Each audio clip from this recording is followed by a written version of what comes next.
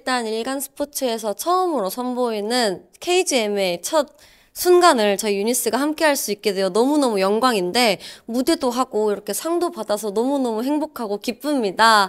앞으로도 이 상에 걸맞게 더 열심히 하고 노력하는 모습 보여줄 테니까요. 많이 기대해 주시고 많이 응원해 주시면 감사하겠습니다. 저희가 항상 EverAfter를 생각하면서 활동을 합니다. 그래서 항상 EverAfter 분들께 너무 감사하고 너무 행, 행복한 마음으로 항상 EverAfter를 사랑하고 있어요. 너무 고맙고 EverAfter 영원히 함께해요. 사랑해.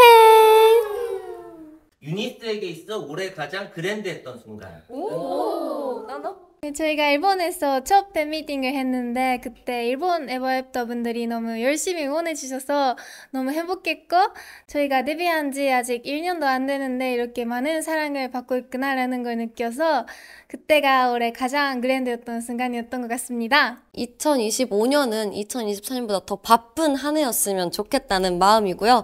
새로운 앨범과 다양한 글로벌한 활동으로 앞으로도 계속 꾸준하게 에버부터 옆에서 열심히 할 테니까요. 기대해 주시고 응원해 주시면 감사하겠습니다. 코리아 그랜드 뮤직 어워즈 KGMA 화이팅! 일간 스포츠 화이팅!